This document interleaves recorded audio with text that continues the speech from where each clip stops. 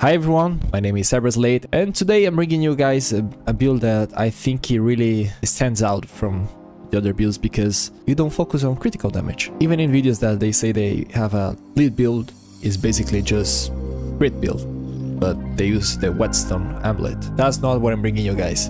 Anyway, before we start, is this build an S tier build? Mm, kinda, maybe. Is the strongest build? No, but it's not weak. But this build is all around. You can do for nose weak spot, with weak spot.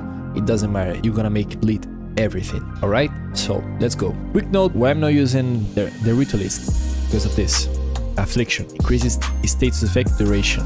We don't want that because it will decrease our DPS a lot. Right now, I don't know if it's intended or if it's bugged, because when you increase the duration, do less damage, less than half. So we don't want this and any ring that have this.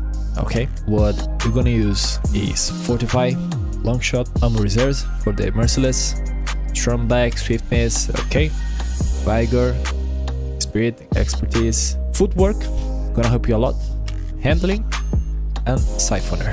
That's it. First of all, what archetypes are we using? We're using Challenger and Explorer. Why? Because for the bleed damage, what we really want is to upgrade our all damage. So with Challenger you have Close Quarters, grants a 35% increase to all damage, and the Explorer with the Scavenger, and after you take a Relic, you'll take more 6 stacks, each stack giving you 5% of all damage. And for a full minute, and together with the Relic, it's gonna be a buff for a full 2 minutes. For the Challenger, we want the Rampage skill, of course, so we can reload faster and shoot faster, especially with the Merciless, because it's really slow. And with Explorer, it doesn't really matter, to be honest. This one is really nice, but kinda slow. But we will grant you, maybe, is random, 10% increase all damage. So you have 35 here, plus 30, 65, plus 10 if you're lucky. In total, 75 just by this. 75 all damage. Items let's let's begin. Amulet. Ravager mark. Burden of the destroyers. Ahene and i i don't know how to say this. So this one is really difficult. This one is the only one you can really swap because i i i know that not everyone has this ring.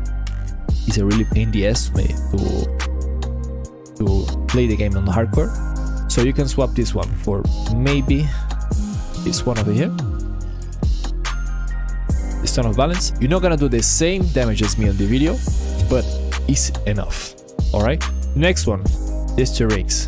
Band of the Fanatic and Red Ring of the These two are the core of the build. This is what helps the build shine. Merciless, because you can play you can apply two stacks of bleeding with twisting wounds. Parallax, because it can apply shock and more important corrosion. Because corrosion i don't know if you you guys know when an enemy is corroded increase 10% of damage they take from all sources. It's gonna go very well with, with this one. And for the last one mp60 but it can be any weapon as you as you like. I like the mp60 it's very very useful. And with the Fargazer because the Fargazer complements really well the build. With the harmonizer of course. So you're gonna do more damage. The last one the relic you can use whatever you like with mod damage, mythic ranged fire rate, and mythic ranged crit chance. So how is the gameplay of the build? You pop your relic, pop Fargazer, but it's not gonna work here on the on the dummy. Rampage, and start shooting. Sorry, also this one. More damage. This one, don't forget to use your mod but the Merciless is really really powerful. Rampage pops up and just go ahead. And that's it.